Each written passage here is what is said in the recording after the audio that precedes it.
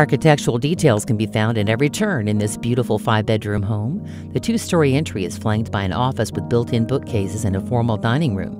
The kitchen has a huge island and a breakfast room. The lower level is made for entertaining, with a walk behind wet bar, a family room, and more. Experience everything this home has to offer by calling Colleen Lawler today.